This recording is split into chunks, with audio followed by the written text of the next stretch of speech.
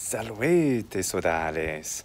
In horto meo domus meae sum, et modo nunc conspexi oculis meis, aliquid in hoc arbore, in ac arbore citro auranti folia, inspicite.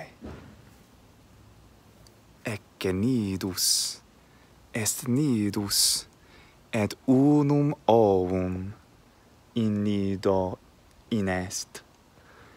Sed mater ubi est, eam nunquam vidi, ergo constitui legere pro ac matre,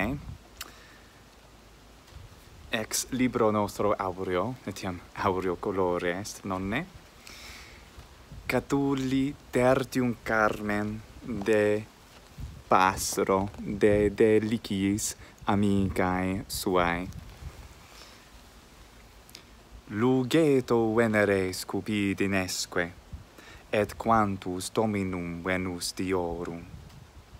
Passer mortus est meae puellae passer de liciae meae puellae quem plus loculis suis amabat nam mellitus erat suamque norat, ipsam tam benequam puella matre.